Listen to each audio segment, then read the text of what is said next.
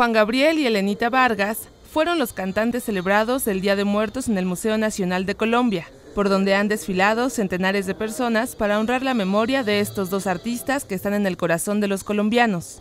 Como en años anteriores, la Embajada de México, el Consejo de Promoción Turística de México y el Museo Nacional de Colombia montaron un altar para dar a conocer las prácticas funerarias prehispánicas que perduran a lo largo del tiempo.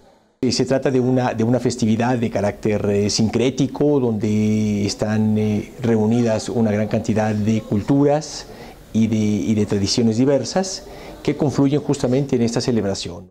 Colombianos de todas las edades desfilan por el altar, que se encuentra en uno de los espacios del Museo Nacional, en donde siempre se escucha en el fondo las voces de los dos cantantes, una expresión que muestra la unidad de dos pueblos desde las entrañas de su cultura.